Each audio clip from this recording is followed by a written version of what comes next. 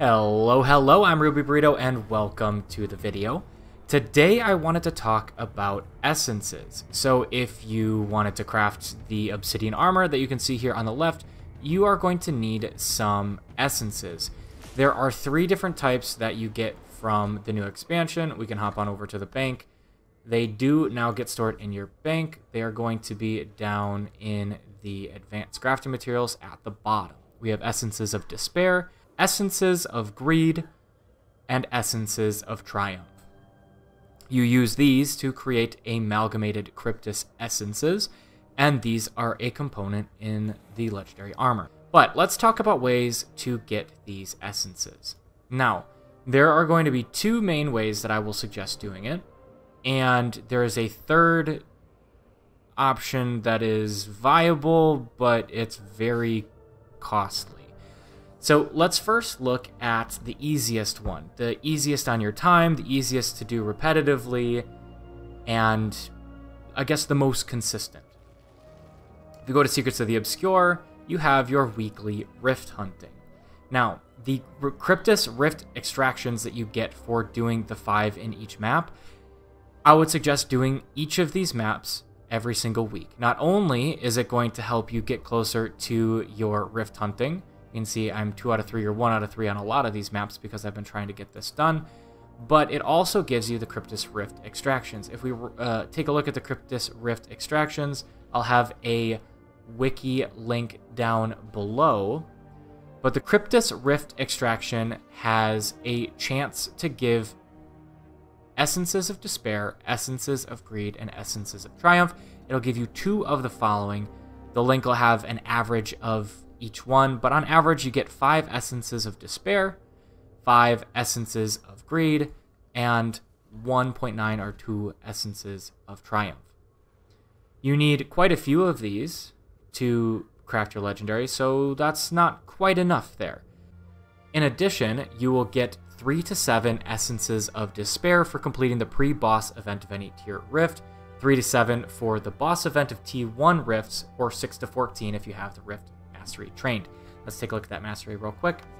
If we go down to Astral Ward, you can see Rift Mastery here. This will give you additional essences out of the rifts, and then you have Obsidian Armor Crafting here as well that you will need to craft these.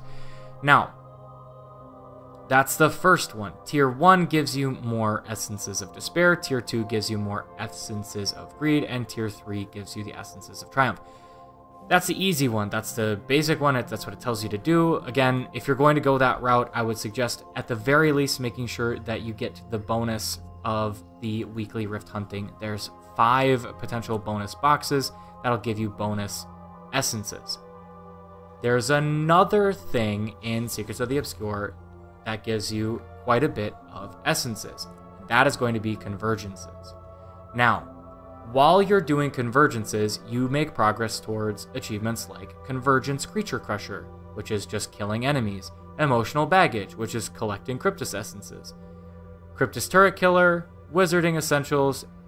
There's quite a few of these, and look what they give you a nugget of Kryptis Essence. This gives you essences, as, as it sounds like.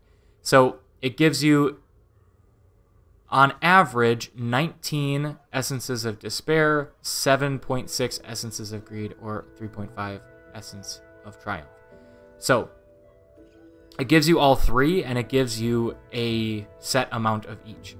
12 to 25 or 50 of the despair, 5 to 10 or 20 of greed, 2 to 5 or 10 of the triumph. So every time you do make progress on these, you'll get a little nugget. Now, the other part of doing convergences is there is a bonus choice chest at the end that allows you to pick 100 Essence of Despair, uh, 40 of Greed, or 20 of Triumph, or you can get another item that we will come back to. Finally, if you do at least two a week, you can get a Kryptis Convergence extraction. This is guaranteed. This is why this is what I will suggest that you do. If you take anything away, it'll be this. Try to do two to three of these a week. This gives you 250 Essence of Despair, 100 Essence of Greed, and 50 Essence of Triumph. This has two of them. So if you do three, you get 750 Essence of Despair, 300 of Greed, and 150 of Triumph. That is going to make a huge dent in your farming for the Legendary Armor. Now, if you don't want to do any of that, there is technically a way to bypass the farming. If we go back to Secrets of the Obscure and go to Convergences, you have the Unstable Kryptis Motivation. You can open a concealed Unstable Kryptis Essence coffer with this motivation. This is the other option for the Hero's Choice chest. Not this item, but the essence coffer that it is that this opens. Both of these items are for sale on the trading post. If we go and take a look at the concealed, should pop up here, concealed unstable Kryptis Essence Coffer. This one is cheap. This is the one you get for the Hero's Choice chest.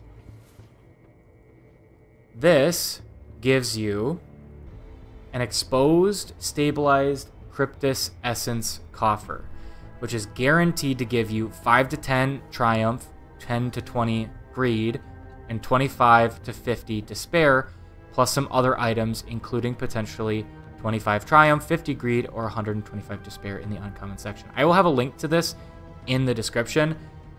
This is an option. I do not suggest going this route because it is very expensive. So this is the cheap one, right? This is the expensive one. Unstable Kryptis Motivation.